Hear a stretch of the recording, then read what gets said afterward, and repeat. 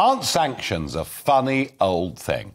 You know, we talk in the West about sanctions, and yet we continue, I say we, I mean the Germans really, continue to pay Russia nearly a billion dollars a day for gas and oil.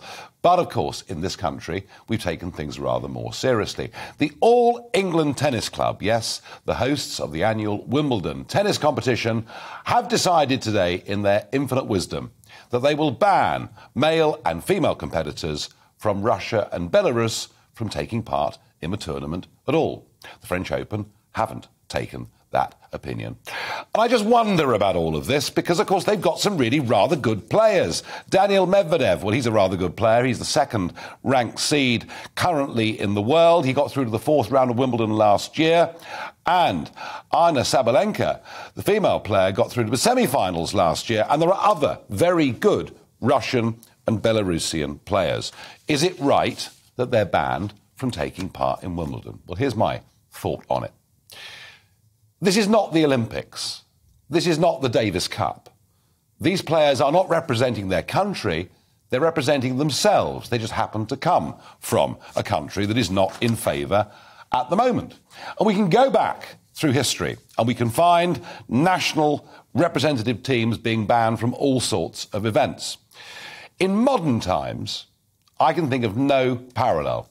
Think back to when South Africa was shut out of world cricket, shut out of world rugby. Yet Gary Player, who was South African, continued to play in the British Open, continued to play on the US tour because he was there representing himself, not representing the nation that he came from.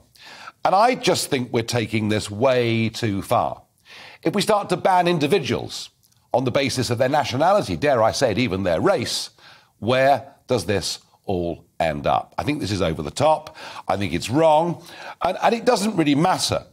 It doesn't really matter whether these players condemn the invasion of, of Ukraine or not. Some will, some won't. Imagine if you're a sports player. You want to play in Wimbledon. Your mum and dad are getting on a bit, living in Moscow. Are you really, are you really going to condemn the Putin regime and put them in danger? And actually, should anybody ever ask you to be in that position. So I am really, really disturbed by this. I think it's wrong. I think it's over the top. And as I say, all the while the Germans keep on buying huge amounts of gas and oil. What does it all mean? I think the All England Club have got this wrong. I want to know what you think, please. Tell me, is it right? Is this right to ban these tennis players. Farage at gbnews.uk. I don't expect there to be any shortage of opinions coming in.